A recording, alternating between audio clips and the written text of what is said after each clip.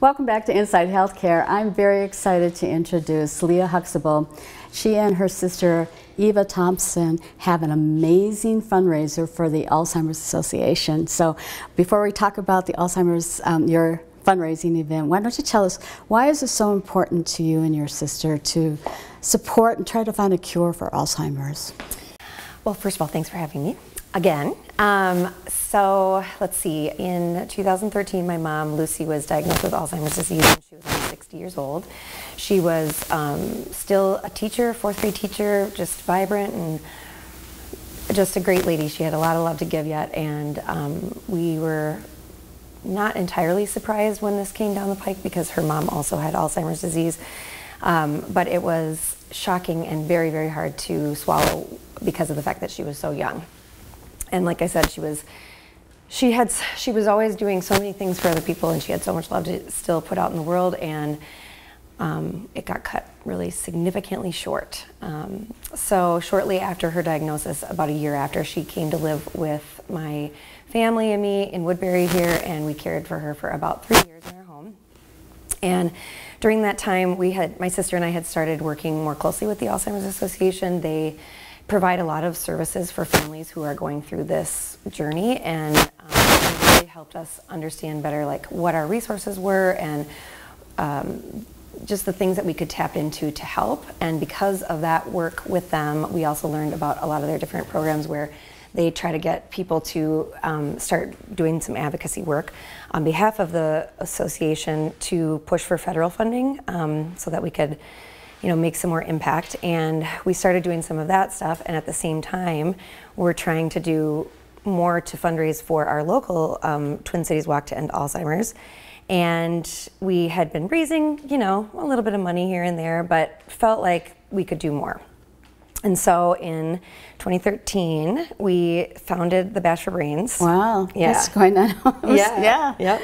And so um, the bash it actually started out as the backyard bash to end alzheimer's and it was in my former backyard in bailey's arbor um, and it we put it together in a few weeks and it raised about $7000 and we thought wow we got, we've got something here so we decided to keep going with it and so this year will be our ninth year hosting it um, and a little and, COVID in between there. Yeah, we had one year off. We say we say this is the ninth, should be tenth um, bash this year. But anyway, we just you know we, we like to throw a party and it it was a way that we could you know bring more light to the disease. So many people have someone that they know who are affected and um, it's you know it's just one of those things. It's it needs to go. It's just a really really life-robbing disease. So. You were talking about the, the journey that the families go through and mm -hmm an incredible journey yeah. and how hard that is on the family and yeah. things like that and and that you've tried to the advocacy and stuff like that tell us about um, what is that like for a family dealing so it is um, we always say that it's it's like living life on a loop you know you're in you're sort of in groundhog's day with an alzheimer's patient and so uh, you know having been the the primary care provider um, i know it all too well. And then for my in my situation and all of those who are dealing with like younger onset, um, parents with younger onset Alzheimer's were all, were often kind of sandwiched between childcare as well. So my kids were really little at the time. I had actually I, did, I only had three of them when when my mom first came to live with us, and they call us the sandwich generation. I mean, it's just bananas trying to care for someone who is you know their brain is deteriorating. They they live the same day over and over and over again throughout a day right? Um, and so unfortunately and luckily for me you know i was young and you know have had great support through the community and my friends and the rest of my family. But for most people they're caring for an alzheimer's patient when they're older. They um, have a really hard time finding the support that they need and it is exhausting. And often i just can't imagine. I just it's just it's so so hard on the care provider. Um, in fact, the, there are lots of there's statistics out there, and I don't know what the percentage is, but a very high percentage of care providers for Alzheimer's patients die before their patient because of you know the fatigue, the stress, and then the onset of disease that comes from all of that. Um, it's it's it's devastating to a family. So, talking about your mom with the younger age developing Alzheimer's, I think people are surprised that, uh, you know, people as they age, not necessarily are going to get Alzheimer's, but there's um, 80, 99,000 people in Minnesota are living with Alzheimer's mm-hmm. age 85. Mm-hmm. But yet there surprisingly a number of younger people, mm-hmm. younger, age 45 and younger, mm-hmm. being diagnosed with mm-hmm. and living with Alzheimer's here in Minnesota. People are surprised by that. Mm-hmm. It's shocking. I mean, we've, like I said, um, you know, through the Alzheimer's Association, we've been able to really, you know, get all, all kinds of great resources, but the biggest one has been the people who we can connect with that are dealing with the same issues and the, the same hardships. And um, it has been kind of mind blowing to, to meet some people whose journeys were even more atrocious than ours just because of the incredibly young onset that some people come, you know, come to the disease with. And um, there are so many different forms of dementia these that are, you know, constantly we're being kind of I don't know, in contact with, I guess, Lewy body dementia is one where they have, you know, physical and mental, you know, incapacity, no. and it's just awful, it's awful, just awful thing. So, yeah, it is shocking. And you know, with my mom, um, the that was the hardest part, right? Because her light went out so early. So. So hard for you, but yet yeah.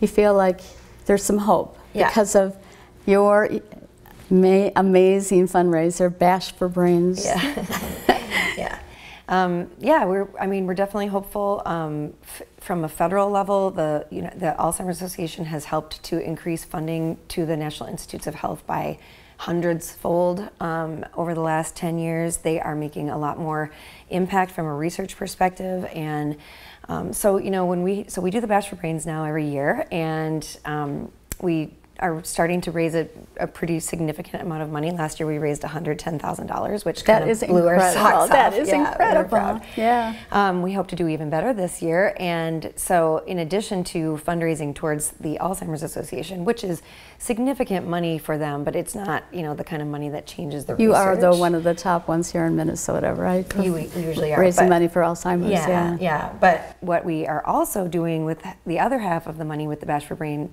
Bash for Brains is the Bash for Brains Fund, which is um, kind of handled for us fiscally by the Woodbury Community Foundation. They've been really pivotal in helping us grow the bash and be able to to start this fund. And the fund is specifically trying to help families who um, can't afford to have in-home respite care. Um, it's it was one of the things that was a saving grace for me when I was taking care of my mom. Um, having someone come in and just give you a few hours of reprieve from this sort of inundating, um, you know, constant, like I said, living like life on a loop um, was huge for me. And luckily, our family was able to afford that. But so many families are not. So um, this year at the Bash, we are hoping to give four grants to families who are suffering wow. um, in this community um, with the need for respite. And we were able to um, give our first grant last year to a woman who was dealing with it last, you know, during the time of the bash last year. And she was so grateful. It, it kind of, um, I mean, she's told me many times over that it changed, changed um, her life. And so that's what we're hoping to be able to do this year, uh, four grants so that more people can just have the benefit of some rest and it makes all the impact in the world. So. And your event's coming up in September? Yep, September 10th. Um, people can find more information about it at uh, bashforbrains.com. We actually started ticket sales on July 1st, and they are on an early bird special until July 15th. You get $15 off your ticket price. Um, the Bash is a super fun event. It's in my backyard, and we have um, live music. Dan Rodriguez is going to be playing this year. He is fantastic. Um, we have food trucks. Uh, that's all part of the ticket price. We have drinks and uh, these cute uh, the Fab Tap is going to be here again. They do like cocktails in this Airstream trailer thing. It's very, very fun. We have a huge silent auction and um, it's a great time. So the bash is 6 to 11. It's an adults only event. um, and we hope people will show up because we're trying to make a difference and I think we will. This year we're really hoping for, we have a pretty big goal financially. So. And if they can't be here, they can, they can still get involved. Yep, they can donate online through thebashforbrains.com. Um, or they can still bid on the silent auction um, virtually as well. It'll all be online a couple days before the bash. So yeah, we're excited. It's got to make you feel good, though, to be able to help other people that were in the situation that you and your sisters were in. your That's sister were in, yeah. That's exactly it. You know, when you know what it feels like, you know what the day to day is like, what it, the impact that it has on the. It's you know we, we were talking about this the other night. My sister and I. Um, we were up at the cabin for the fourth, and all the grandkids were there, and you know some of those grandkids my mom never even met, um, and it, it's just it, that is the piece that is so heartbreaking. It's it's the little kids who are missing that grandparent um, love and patience, so much better than parents, um, and just exposure to her wisdom and her love. It's just it's so sad to me, and so we're hoping to be able to obviously eradicate the disease eventually to not have that be the case. But with regards to families locally, you know, it's just trying to make it a little better for people. So Well, Leah, I really appreciate you taking time to share your message and, and trying to find a cure for Alzheimer's. yeah, thank you so much for having me. I appreciate it. Appreciate that. We'll be right back with more after this.